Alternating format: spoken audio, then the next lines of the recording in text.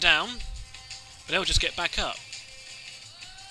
So you use your dagger, and you collect their sand.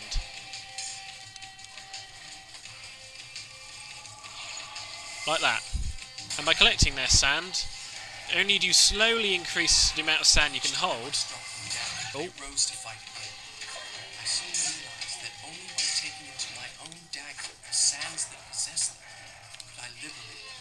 Monstrous living death. It also recharges the amount of time I, I, I can reverse time. This is basically what you can do with the dagger.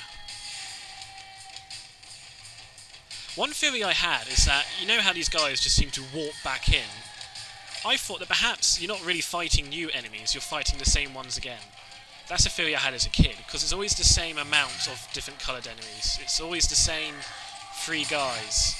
And it looks like they're time warping back in with the way they move.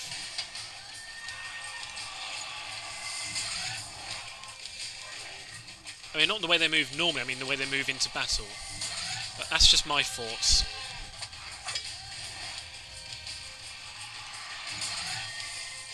Come on, guys. Are you even going to hit me?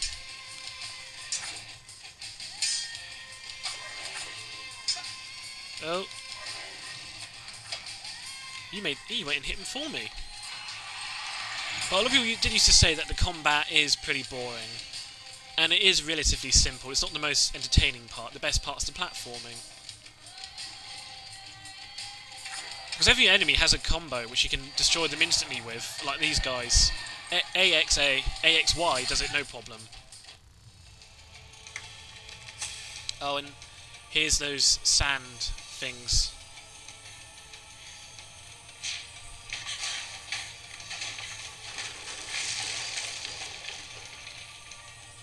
These here, these basically give you a short glimpse of the future. And it's, it's the real future. This is what I'll be doing in the near future.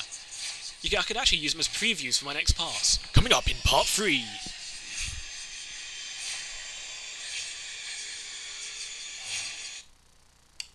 Then I get to save.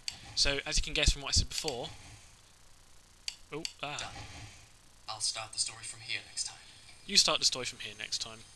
So yeah, those are also save points. So that means that is the end of part 2. So, thanks for watching up to this point. Mad.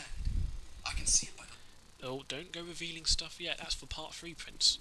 So, that's the end of this part. Thanks for watching. I'll see you in part 3. Cheers.